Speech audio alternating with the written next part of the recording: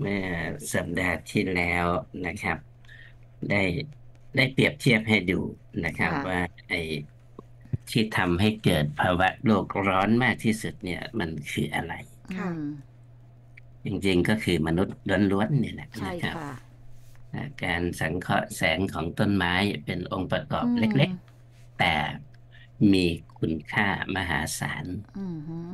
นะฮะก็ ลองไปลองไปคำนวณดูนะครับ ต้นไม้ต้นหนึ่งที่มีประสิทธิภาพสูงสุดเนี่ยเขาสามารถที่จะดึงคาร์บอนไดออกไซด์เข้าไปสร้างเป็นลำต้นของเขาได้เนี่ยนะครับแบบไม้เนื้อแข็งที่สุดเนี่ยเขาจะทำได้ประมาณ 15 กิโลกรัม ต่อต้นต่อปี ซึ่งถ้าเทียบกับการสร้างหรือการปล่อย ออกมาเนี่ยนะครับ มันมันมันหมายความว่ามันสวนทางกันนะฮะสวนทางกัน เพราะต้นไม้ต้นหนึ่งจะต้นใหญ่โตมโหฬารขนาดไหนที่เป็นไม้เนื้อแข็งเนี่ยเขาเก็บข้อมูลมาแล้วนะครับ อย่างมากที่สุดก็คือ15กิโลกรัมค่ะอืมต่อต้นต่อปีนะครับ ลองนึกดูฮะถ้าถ้าถ้าทุกๆหนึ่งพันกิโลกรัมเนี่ย จะต้องใช้กี่ต้น นะครับพอพอเรามาเทียบออกมาอย่างนี้แล้วเนี่ยที่ผมบอกว่ามันน่ากลัวก็เพราะว่าการปลูกต้นไม้มีน้อย แต่การตัดต้นไม้มีมากกว่าค่ะนะครับ แล้วการตัดเนี่ยด้วยฝีมือมนุษย์ ไม่ใช่แค่การตัดธรรมดา แต่ถ้าเป็นพื้นที่ไหนนะครับ ที่ต้องการพื้นที่กว้างเพื่อที่จะบุกเบิกพื้นที่ เปิดพื้นที่ในการปลูก ต้นไม้ที่เอามาใช้ประโยชน์ในความเอ่อในการบริโภคอุปโภคของคนเนี่ยนะครับอ่าไอ้นั่นเนี่ยน่ากลัวกว่า เพราะมันคือการเผาที่นะครับน่ากลัวนะฮะอย่างค่ะอย่างปีอืมเผาที่เนี่ย ส่วนใหญ่มันก็จะเกิดเนี่ยนะฮะก็คือในช่วงก่อนฝนอ่าก่อนฝนก็คือฤดูร้อนค่ะนะครับ ก่อนฝนเพราะว่าอะไร เพราะว่าทุกพื้นที่นะเขาก็จะต้องเตรียมพื้นที่ให้ให้โล่งแจ้งเข้าไว้นะครับ โล่งเตียนเข้าไว้เพื่อที่จะรองรับน้ำจากธรรมชาติ พอเป็นอย่างนี้เสร็จปุ๊บนะครับ นั่นแหละ สิ่งที่เราเห็นทุกปีจนจนมันกลายเป็นเป็นต้นน้ำทุกของที่ทุกคนพูดถึงแหละนะครับ ต้นน้ำก็คืออะไรฮะก็คือการเผาป่า จากความเห็นแก่ได้ของคน นะครับอ้าวฉันฉันปลูกฉันจุดไฟเผาแค่นิดเดียวเองนะก็ลองทุกลองทุกบ้านทำเหมือนกันนะดูสิฮะทุกบ้านทำเหมือนกันหรือแม้กระทั่งพืชไร่นะครับพืชสวนที่ใช้เวลาสั้น ๆ แล้วก็ แต่ว่าทำลายสิ่งแวดล้อมเยอะมากเนี่ย ลองนึกดูนะครับ อย่างพื้นที่ไหนปลูกอ้อย พื้นที่ไหนปลูกข้าวโพด มันสำปะหลังอะไรพวกนี้นะครับ โดยเฉพาะอย่างยิ่งอ้อยกับข้าวโพดสองสองพืชนี้เนี่ย พอเขาเก็บผลผลิตเสร็จปุ๊บวิธีของมนุษย์ที่ง่ายที่สุดก็คือเผา เผานะฮะ เพื่อที่จะเอารุ่นใหม่ลงไป พอเผาเสร็จปุ๊บเวลาเราขับรถไป เอ้ามองทางก็ไม่เห็นข้างหน้าไม่เห็นใช่ค่ะ เออ เห็นไหมฮะ นี่คือมนุษย์ล้วนๆนะครับ แล้วก็มนุษย์ก็บ่นกันเอง ค่ะ ก็บ่นกันเอง แล้วก็เรื่องเรื่องพวกนี้มันเราไม่ใช่เพิ่งเกิดนะฮะ มันเกิดมาเป็นยี่สิบกว่าปีละสามสิบปีได้ครับอ่านี่แหละ ที่ผมบอกว่าเออไอ้คนเขียนสคริปต์ต้นน้ำกลางน้ำปลายน้ำเนี่ยมันฝีมือมากอ่าสามารถให้คนเอามาท่องจำกันได้ทุกปี เวลาเกิดมีปัญหานะ คือถ้าเป็นเพลงเนี่ยก็เป็นเพลง เพลงที่ไม่ตกยุคเลยนะค่ะค่ะเออมาเมื่อมาเมื่อไหร่คนก็พูดถึงเสมอเนี่ยนะครับ ต้นน้ำกลางน้ำปลายน้ำเนี่ยเออแต่ไม่มีใครแก้อืมนะครับค่ะแต่ไม่มีใครแก้ มันก็เลยทำให้สะสมและหมักหมม แล้วมาผนวกเอาอย่างนี้นะครับ วิธีคิดของคนเนี่ยก็คือเอาไม่เป็นไร เรามีทุนเรามีงบ เรามีงบกู้ภัยอะ กู้ภัยพิบัติอะไรต่างๆนานานะครับพอกู้ภัยเสร็จปุ๊บนะวิธีคิดก็คือว่าเส้นจ่ายณบัตรดลพอจ่ายไปปุ๊บจ่ายไปปุ๊บนะฮะมันก็ยังเกิดจากฝีมือมนุษย์อีกนะอ้าวเอาปลากระป๋องเน่าไปให้ชาวบ้านอีกนะเอานมบูดไปให้นักเรียน อะไรต่างๆ เหล่านี้เห็นไหมฮะ มันก็วนอยู่ที่นี่แหละพอพอมันวนอย่างนี้นะครับ มันเขาก็เลยมีการวิจัย นะครับ มีการวิจัยออกมาเลยว่าอ้าวทำไมทุกก่อนฝนเนี่ยมันมันถึงเป็นอย่างนี้มากขนาดไหน เอาเป็นว่าเฉพาะประเทศที่เปิดใหม่นะครับ เปิดใหม่ในที่นี้ก็คือเดิมก็เนี่ยนะฮะเป็นประเทศที่ปิดตัวเอง เพราะเรื่องของการเมืองเรื่องของความขัดแย้งอะไรต่างๆ นานานะฮะผมก็เลยไปมองดูเอ๊ะอย่างลาวเนี่ยเขามีรายงานเรื่องนี้ไหม ปรากฏว่าลาวเนี่ย เดิมนะฮะ เดิมก็คือก่อนที่จะเปิด เป็นเศรษฐกิจเสรีค่ะนะครับก็คือเขาก็นับกันตั้งแต่ปีพันเก้าร้อยแปดสิบหกมันนั่นแหละนะครับ อย่างลาวเนี่ยที่ที่ต้องเริ่มนับตรงนั้นก็เพราะว่าเริ่มเปิดประเทศในปีนั้น ตามแนวทางของท่านไกรสอนพรหมวิหารนี่แหละนะฮะท่านไกรสอนท่านใช้นโยบายของท่านว่าจินตนาการใหม่ ค่ะอ่านะครับชื่อดีดีๆนะ จินตนาการใหม่ ใช่นะไม่ไม่ใช่ imagine นะฮะแต่แต่แต่เขาแปลมาจากคำว่า new thinking อืมค่ะนะครับในภาษาอังกฤษ new thinking นะฮะจินตนาการใหม่ฮะแต่ว่าถ้าเป็นเอ่อในในประเทศเอ่อที่ที่เขาใช้ศัพท์ที่ที่สูงขึ้นมาหน่อยหนึ่งก็เขาจะใช้คำว่า renovation ค่ะ renovation อืม policy ค่ะ renovation อ่านะฮะก็คือเนี่ย ถ้าถ้าฟื้นฟังอย่างฟูฟังฟื้นฟูหรืออ่าฟื้นนะฟันะงอย่างนี้มันมันดูเป็นรูปธรรมดีนะครับ ก็คืออ่าไปฟื้นฟูซะเอาเปิดประเทศซะนะฮะมันมันก็อยู่ในห่วงใกล้ ๆ กันนั่นแหละครับ ก็คืออ่าอย่างบ้านเราพอถึงยุคพลเอกชาติชายชุนวัน ก็แปลสนามรบเป็นสนามการค้าค่ะนะครับ มันก็คือในห่วงห่วงที่ก่อนจะ จะเรียกอะไรนะอ่าก่อนที่จะโลกาภิวัตน์กันอย่างแท้จริงอืมนะช่วงครับนั้นก็หลังสงครามเวียดนามใช่ไหมคะอาจารย์คะอ่าใช่ฮะใช่ครับ ก็ก็หลัง เพราะว่าประเทศที่เปลี่ยนการปกครองนะครับ เป็นสังคมนิยมคอมมิวนิสต์เนี่ยก็ทุกประเทศนะฮะก็คืออ่าพอฉันเปลี่ยนแล้วฉันจะต้องไปสู่สังคมนิยมให้ได้ในสิบปีฮะซึ่งพอสิบปีทำไม่ได้ ก็ต้องมาคิดใหม่นะนะฮะคือ new thinking ที่ว่านั้น นะครับ อย่างในกัมพูชาของสมเด็จทุนเซนเนี่ยก็เขาเรียกว่ากลไกเศรษฐกิจใหม่นะครับอืมก็ก็คืออันจริงมันก็คืออันเดียวกันนะครับ ในในเวียดนามก็เป็นโดยเมยอ่าโดยเมยอืมอ่าเวลาเราไปอ่านภาษาอังกฤษมันจะเป็นดอยมอยนะอ่าอืมเพราะว่าตัวแอคซองมันหายไปค่ะกับภาษาอังกฤษ แต่จริงๆเขาเขาเขียนแบบฝรั่งนะครับ ก็เลยอ่านว่าโดยเมย นะฮะโดยโดยเมยเมยก็แปลว่าใหม่เนี่ยฮะก็คือคิดใหม่ทำใหม่นั่นแหละค่ะนะครับอ้าวบ้านเราก็มีคิดใหม่ทำใหม่เหมือนกัน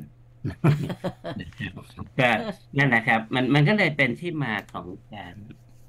ผลาญทรัพยากรอืมจุดเปิดของลาวกัมพูชาเนี่ยเหมือนกันเยอะเลยนะครับค่ะก็คือว่าอะไรก็แล้วแต่ที่ดึงทุนเข้าไปได้เร็วที่สุด ก็คือทรัพยากร แล้วทรัพยากรไหนที่ตัดปุ๊บได้เงินปัดมีต้นไม้อย่างเดียวครับโอ้ค่ะที่ทำได้อย่างนั้นอืมนะครับ มีต้นไม้อย่างเดียว ก็เลยกลายเป็นเขตที่มีการสัมปทานไม้กันอย่างเป็นล่ำเป็นสันนะครับพ่อค้าไทยพ่อค้าเวียดนาม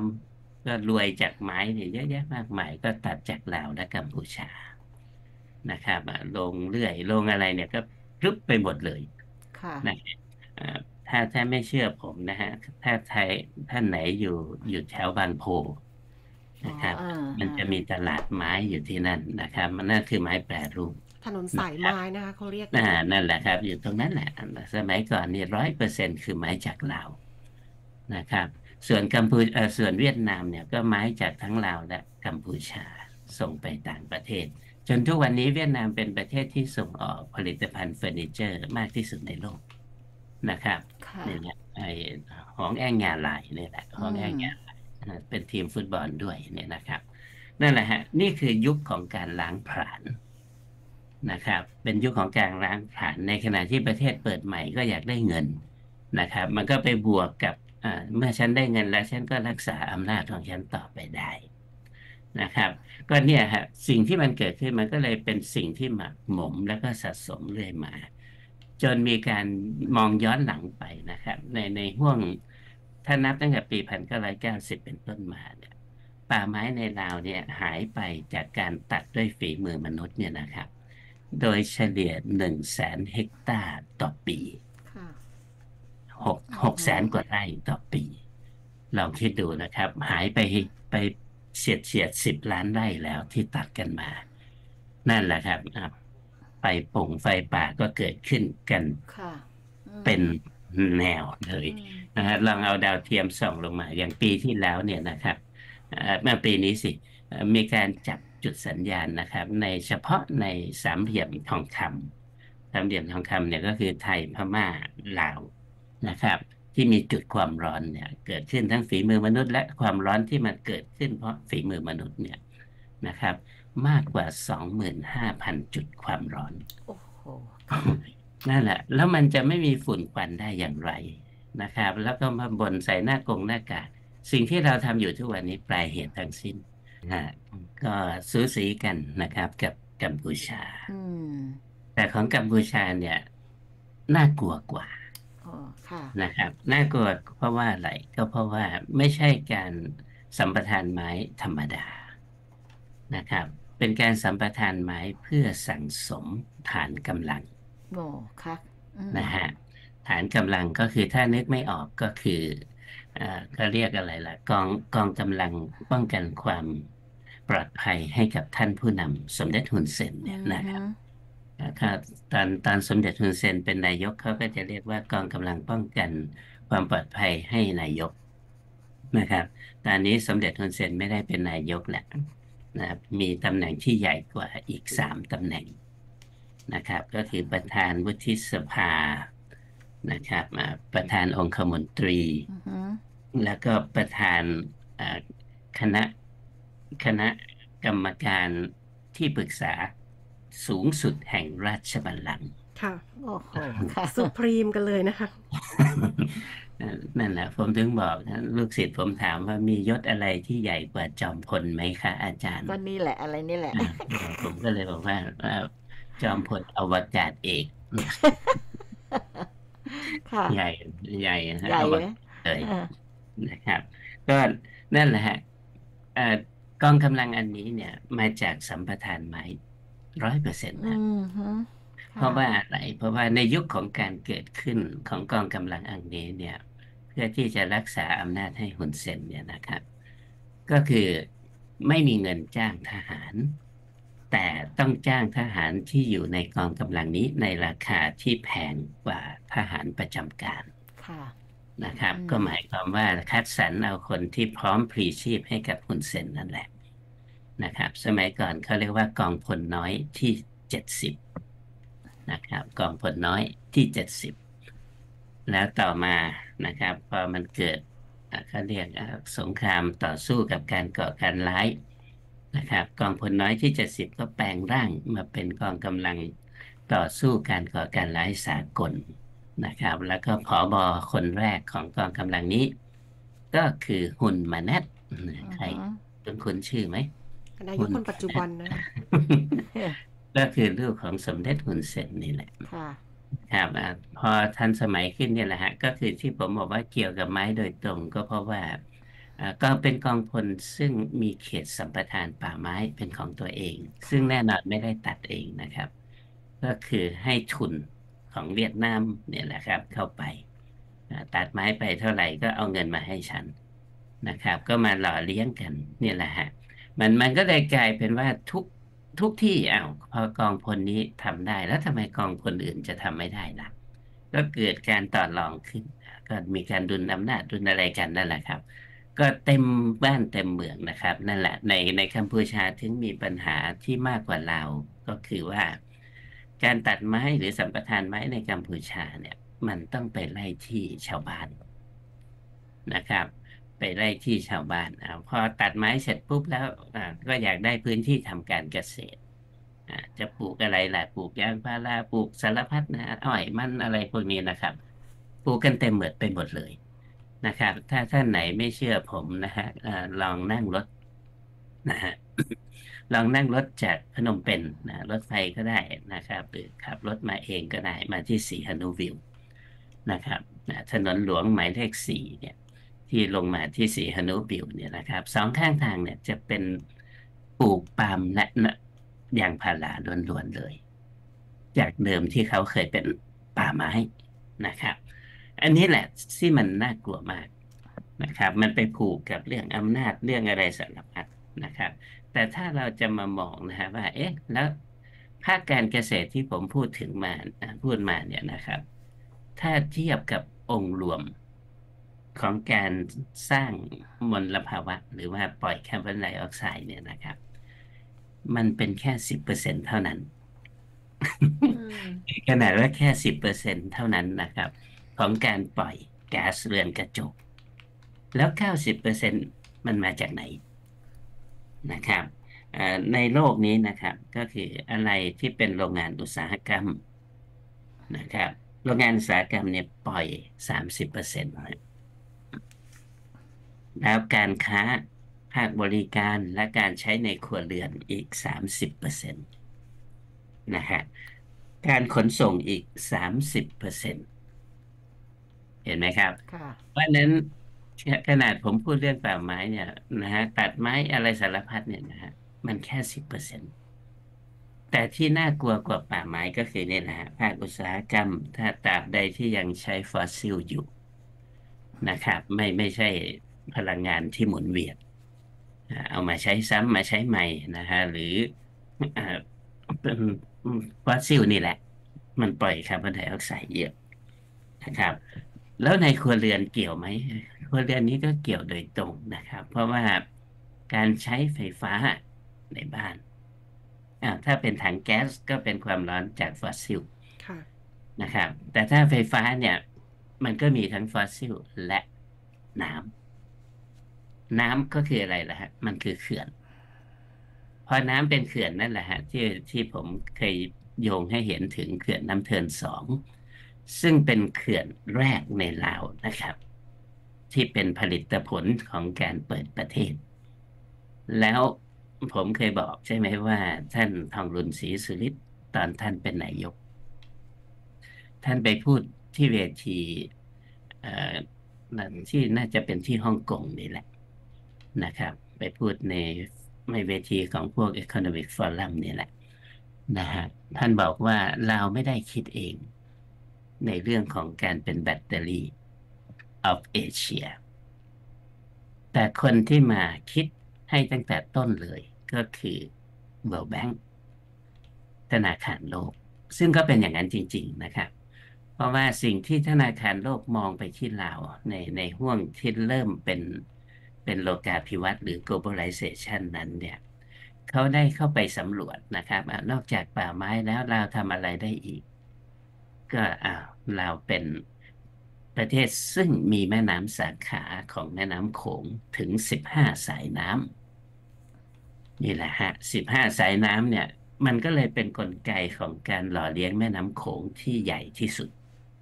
ก็คือจากลาว แล้วแม่น้ำสาขาเหล่านี้นะครับ ส่วนใหญ่ก็คือไหลจากตะวันตกอ่าตะวันออกมาที่ตะวันตก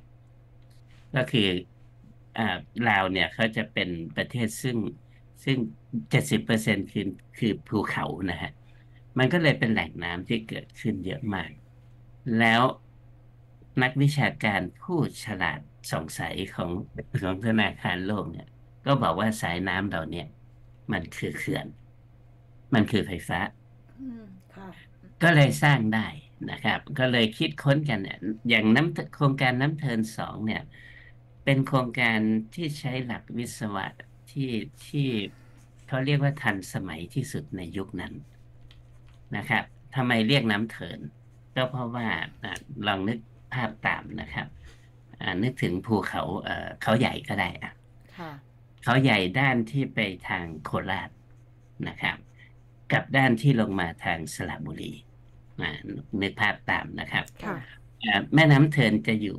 ด้านที่ไปทางโคราชนะฮะแล้วทีนี้หลักการไฟฟ้าการสร้างเขื่อนเนี่ย เอามาจากฝรั่งเศสอือหือค่ะก็คือเจาะอุโมงค์ทะลุเขาใหญ่ อ่า แต่ในลาวเขาเรียกว่านากายนะครับ ที่ราบสูงนากายที่นั่นก็คือทำเป็นอุโมงค์ อุโมงค์ใหญ่ขนาดไหน อุโมงค์ใหญ่ขนาดว่าเอารถบรรทุกสิบคันเรียงหน้าเข้าไปได้ ครับ เป็นแถวมันใหญ่มากนะครับ เป็นอุโมงค์น้ำจากที่สูงลงสู่ที่ต่ำนะครับ แล้วก็สร้างนะฮะสร้างอ่างเก็บน้ำข้างบน แล้วก็เพื่อที่จะปล่อยน้ำอันนี้ลงมาข้างล่างนะครับ นะตรงนี้ถ้าท่านไหนไปที่แขวงคำม่วนนะครับ จะเห็นอ่างเก็บน้ำขนาดใหญ่ ของเขื่อนน้ำเทินสองอยู่นะครับ น้ำเทินสองอยู่ฝั่งโคราชแต่เขื่อนตัวเขื่อนเนี่ย มันอยู่ฝั่งสระบุรี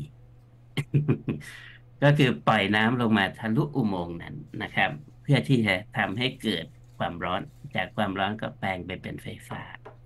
จากน้ำนี่แหละฮะ แล้วตรงนี้แหละครับ อ่างที่อยู่ข้างบนนั้น เนี่ย มันต้องใหญ่มาก ถึงจะเก็บน้ำแล้วก็ผลิตไฟฟ้าได้ทั้งปี 450 ตารางกิโลเมตรครับค่ะพื้นที่ที่เป็นอ่างเก็บน้ำสำหรับเขื่อนน้ำเทินสองอันนี้นะครับ คือวิศวกรเราเนี่ยไม่ไม่สามารถที่จะทำอย่างนั้นนะครับ ต้องมาจาก World Bank แนะนำให้เท่านั้นอือหือค่ะ นั่นแหละครับ โครงการน้ำเทินสองเนี่ย โอ้โหสู้กันนานนะผมทำข่าวนี้เป็นสิบปีกว่าเขื่อนนี้จะเกิดนะครับ พอเกิดเสร็จปุ๊บแล้วเนี่ยนะครับ ในห่วงที่เกิดเนี่ยเขาก็บอกว่าเนี่ยเขื่อนเนี่ยมันจะเป็นพลังงานสะอาดนะครับ ป้องกันน้ำท่วม ต้านภัยแล้งปรากฏว่าพอสร้างเสร็จนะครับ น้ำท่วมที่อยู่ฝั่งข้างล่างเนี่ย มากกว่าเดิมนะครับแล้งก็แล้งมากกว่าเดิมอ้าวมันป้องกันแบบไหนล่ะเนี่ยนะครับ แต่การผลิตไฟฟ้าสำลิดผลแล้ว การก่อสร้างสำลิดผลแล้ว และที่ผมบอกว่าเกี่ยวพันกับคนไทยโดยตรงเพราะอะไร ก็เพราะว่าเขื่อนน้ำเทินสองเนี่ย สร้างในลาวก็จริง แต่ไฟฟ้าส่งมาขายให้ไทย ค่ะ นึกดูนะครับหนึ่งพันเจ็ดสิบเมกะวัตต์เหลือไว้ให้เราใช้แค่เจ็ดสิบเมกะวัตต์ อีกหนึ่งพันเมกะวัตต์ส่งมาไทยล้วนๆ นั่นแหละฮะ เวลาเรานอนตีพุงที่บ้านเปิดแอร์เนี่ย เราก็ไปส่งเสริมนะฮะ ไปส่งเสริมให้พื้นที่ที่เป็นอ่างที่เป็นต้นไม้ ตัดเหี้ยนเลยครับ ถ้าคิดเป็นตัวเลขของไม้เนื้อแข็งเนี่ยนะครับ ที่ถูกตัดไปเนี่ย มันมีมากกว่าหนึ่งล้านลูกบาศก์เมตร